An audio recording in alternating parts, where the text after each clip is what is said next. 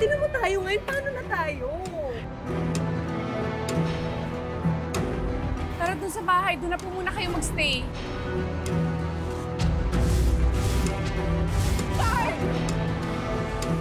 My son defied me because he loved you, but you killed him.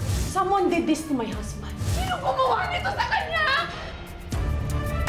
I will never allow your son to steal my. Always keep your friends close and your enemies closer. Kailangan na mawala si George. Magkamatayan na. See you in hell! Widow's War. World premiere July 1. On GMA Pinoy TV.